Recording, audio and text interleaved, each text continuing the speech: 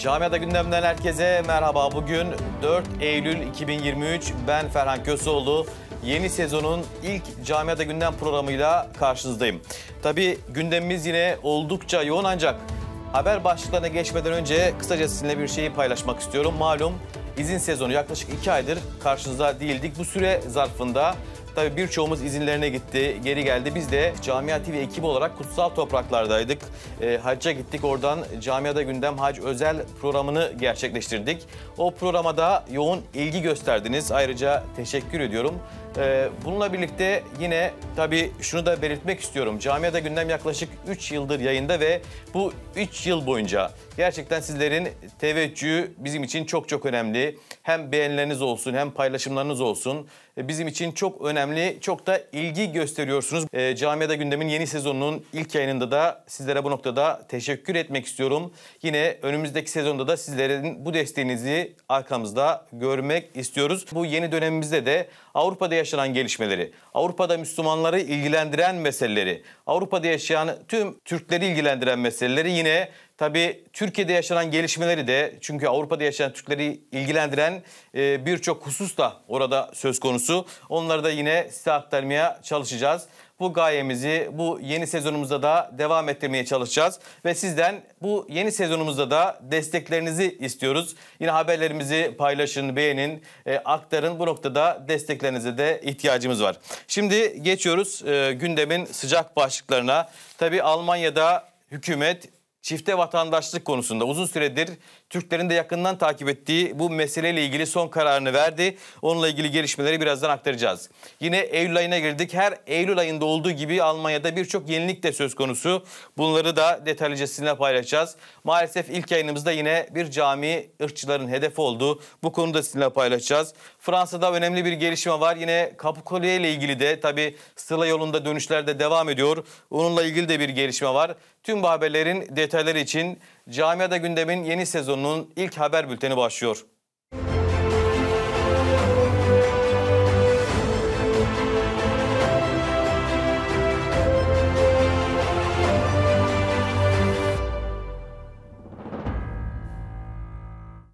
Almanya'da hükümet ortakları yeni vatandaşlık yasa tasarısı konusunda uzlaşmaya vardı. Yeni yasaya göre vatandaşlığa kabul kolaylaştırılacak ve çifte vatandaşlık mümkün olacak. Özellikle bugüne kadar çifte vatandaşlık konusunda ayrımcılığa uğrayan Türklerin bu mağduriyetleri de yeni yasayla birlikte giderilmiş olacak detayları izliyoruz. Almanya'da Sosyal Demokrat Parti, Yeşiller ve Hür Demokrat Parti'nin oluşturduğu koalisyon hükümeti, vatandaşlık hukukunda reform öngören yasa tasarısı üzerinde uzlaştığını açıkladı. Kabul edilen yeni yasa tasarısı, vatandaşlığa kabulü kolaylaştırmayı ve genel anlamda çifte vatandaşlığın mümkün olmasını öngörüyor. Çifte vatandaşlık hakkının tanınmasıyla daha önce bu hakkın tanınmadığı Türklerin ayrımcılık eleştirisini bertaraf etmeyi amaçlayan hükümet, aynı zamanda Alman vatandaşlığına geçişleri kolaylaştırarak nitelikli iş gücünü ülkeye çekmeyi hedefliyor.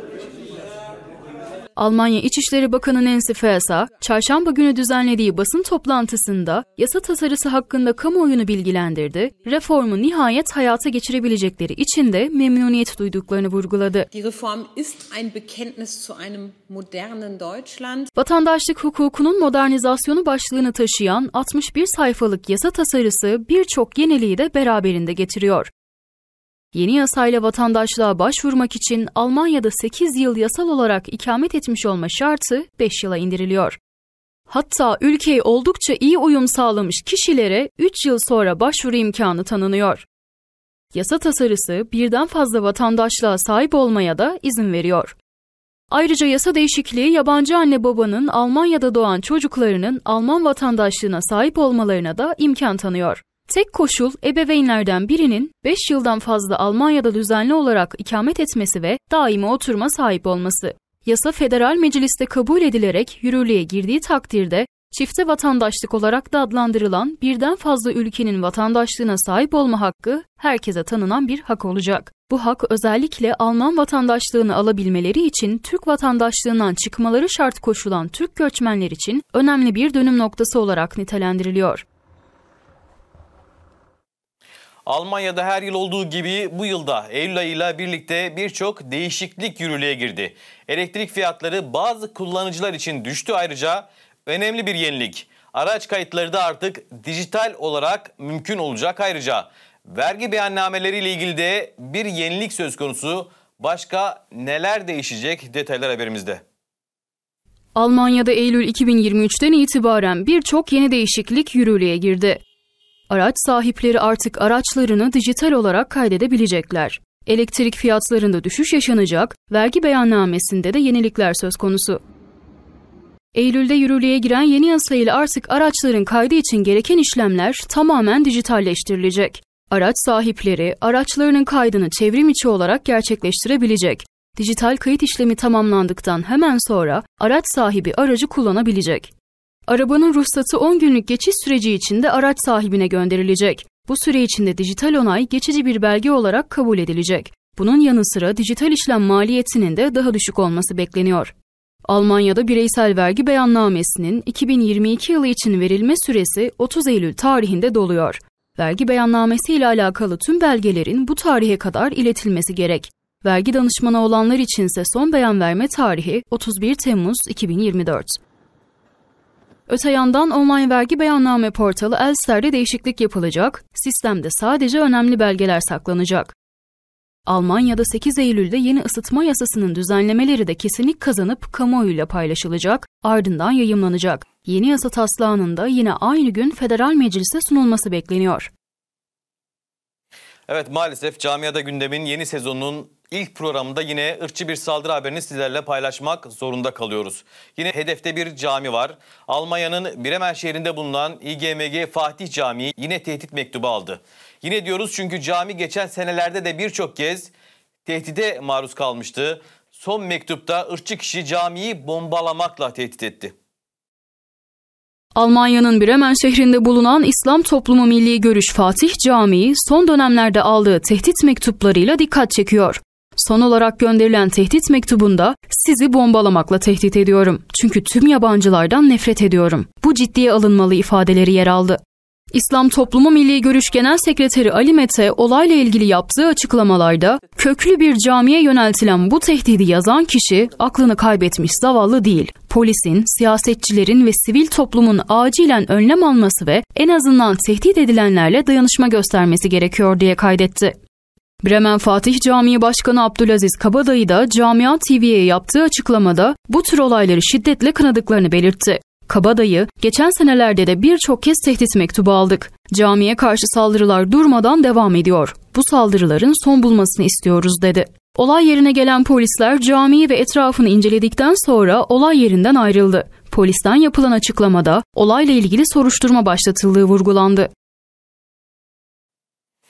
Evet geçiyoruz Fransa'ya. Fransa'da bugün 12 milyon öğrenci ders başı yaptı. Ülkede eğitimle ilgili o kadar çok sorun var ki. Öğretmen, öğretmen açığı ciddi boyutlarda. Özellikle yabancıların yoğun olarak yaşadığı banyolarda birçok okulda öğretmen sıkıntısı baş gösterirken eğitim kalitesi, eğitim kalitesindeki düşüş de her yıl OECD tarafından açıklanan Uluslararası Öğrenci Değerlendirme Programı olan PISA raporlarını da girmiş durumda.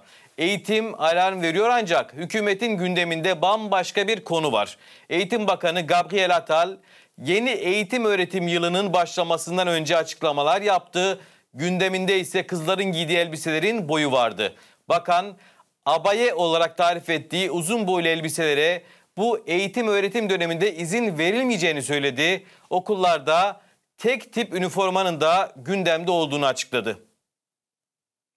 Fransa'da 12 milyon öğrenci için yeni eğitim öğretim yılında ders zili bugün çaldı.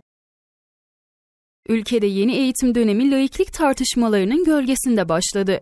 Fransa Eğitim Bakanı Gabriel Ettal, okulların açılışı öncesi TF1 televizyon yayınında yaptığı açıklamada derslerde artık uzun elbise giyilmesine müsaade etmeyeceklerini ve bu yasağı uygulamaları için okul yönetimleriyle konuşacaklarını duyurdu. Bakan okullarda abaya, tunik ve entariye benzer kıyafetler giyilmesinin 2004'te yürürlüğe giren laiklik yasasına aykırı olduğunu ileri sürmüştü. Bakan okulların açıldığı günde tartışma oluşturan açıklamalarına bir yenisini daha ekledi. Gabriel Ettal bu yıl sonbahardan itibaren bazı okullarda üniformaların deneneceğini söyledi. Yapılacak deneme sonrası mecburi üniformanın okullar için tartışılabileceğini ifade etti. Öte yanda Fransa'da Müslümanların hakları için mücadele eden ADM Derneği, Eğitim Bakanı Gabriel Ettal'in laikliğe aykırı olduğu gerekçesiyle okullarda abaya giyilmesi yasağını Danıştay'a taşıdı. Evet bakalım Danıştay bu konu hakkında nasıl bir karar verecek? Biz de bu konunun takipçisi olmaya devam edeceğiz. Geçiyoruz sıradaki habere. Her yıl olduğu gibi bu yılda izin sezonunun birçok yerde noktalanması, izinlerini Türkiye'de geçiren Avrupalı Türkler için hüzünlü bir dönüşünde yaşanmasına neden oluyor. Sevdiklerini, baba ocaklarını geride bırakan Avrupalı Türkler dönüş yoluna geçiyor. Bu yıl geçen yıllara oranla sınır kapılarında bekleme süreleri ise nispeten daha az. Özellikle Kapıkule sınır kapısında sayısı artırılan kontrol noktaları ve personel sayesinde Avrupalı Türkler işlemlerini hızla tamamlıyor. Çok memnunum ama işte sorunumuz şu bizim komşu ülke var ya. O da biraz gayret gösterse çok iyi olacak abi ya. Türkiye'de tatillerini geçiren Avrupalı Türkler dönüş yolunda Kapıkule sınır kapısında sayısı artırılan kontrol noktaları ve personel sayesinde işlemlerini hızla tamamlıyor. Türk gümrüğünden bir hayli memnunuz. Ondan yana sıkıntımız hiç yok. Ama Bulgar tarafında gene dediğimiz gibi yabancı tarafta olduğu gibi hani oradan pek iç açıcı bir şey söyleyemem. Geçen sene de aynıydı, bu sene de aynı olacak. Trakya Gümrük ve Dış Ticaret Bölge Müdürlüğü verilerine göre sınır kapılarından gurbetçi sezonu olarak tanımlanan dönemin başladığı 22 Haziran'dan bu yana 2 milyon 250 bine yakın giriş, 20 Temmuz'dan bu yana da 1 milyon 300 bine yakın yolcu çıkış yaptı. Kapıkule sınır kapısı her yıl olduğu gibi Avrupa'da yaşayan Türklerin en fazla tercih ettiği sınır kapısı oldu. Gayet memnunuz. Yani giriş yaparken e, geçişler çok hızlıydı. Herhangi bir sıkıntı yaşamadık. Biz önceye bakaraktan daha çok hızlı gidiyor. Çünkü pasport kontrol yapıyor. Ondan sonra diyor ki tamam triptik pasportu veriyorsun. ismi kayıt tamam geçebilirsiniz diyor. Ondan çok memnunuz. Allah razı olsun devletimizden. Çok güzel işler yapıyor. Eskiye nazarandan daha iyi. Avrupalı Türklerin sınır kapısında bekleme sürelerini en aza indirmek amacıyla girişte 12 olan pasaport kontrol noktası 14'e, çıkışta 8 olan kontrol noktası da 14'e yükseltildi, personel takviyesi yapıldı. Bulgaristan'la görüşmeler yapılarak komşu ülkenin saatte kabul ettiği araç sayısı artırıldı. Allah şükür çok süper memnunum ben. Çok süper yani. Sorun işte bizi komşuda bitiyor. Komşu da biraz gayret gösterse, peronları çoğalsa çok iyi olacak abi ya. Saatlerce burada bekliyoruz çoluk çocuk yani sıcakta. Bulgar'dan Sırp'a girerken de biraz bekletiyor bize. 2-3 saat. Ama en son Macar'da çok bekliyoruz. Sırp'tan Macar'a girerken en son Avrupa ülkesi olduğu için bize biraz daha sıkı kontrolden geçirmek için biraz daha bekletiyorlar. Orada da en az 6 saat, 7 saat, 8 saat beklediğimizde olmuştur yani.